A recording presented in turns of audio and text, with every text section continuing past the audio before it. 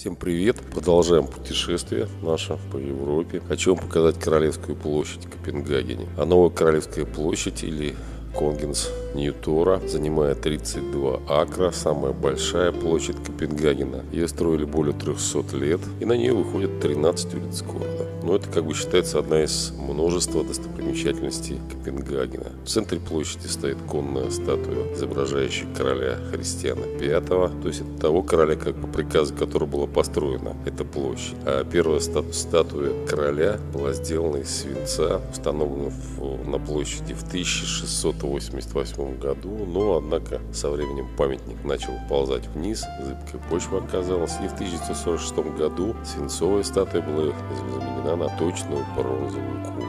Здесь находится Королевский дворец Амалинборг, а является резиденцией правящей монаршей семьи ну, считается одним из красивейших датских замков. К сожалению, мне не удалось там побывать именно в замке, в Королевском дворце. А в, в замке проживает королева Маргарет, ее семья. Оформлен комплекс в стиле рококо, фасады друг к другу. Ну, до начала строительства Королевского дворца в 1673 году на площади был воздвигнут замок, который назвали в честь супруги правящего монарха Фридриха III Софии Амалии. Дворец Софии Амалинсборг, так ее звали, послужил резиденцией для королевской Четы до 1689 года. Но, к сожалению, был сильный пожар, и, в общем, все там загорело.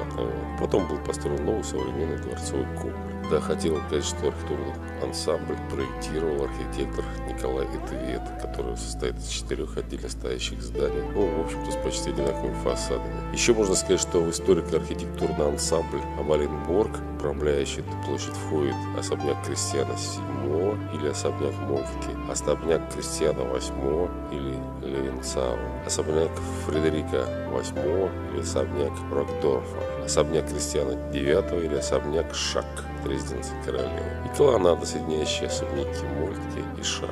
Вот все вроде как вам рассказал, а, рассказал в этом комплексе. Там еще есть особняк Ден, церковь Фредерика, конная статуя Фредерика V, о ней я уже говорил. И разбита со стороны гавани парк с манежем, прилегающий к особняку Мольт. Вот и все. Вот такая вот дворцовая площадь в Копенгагене. Все, всем пока, всем привет, до свидания.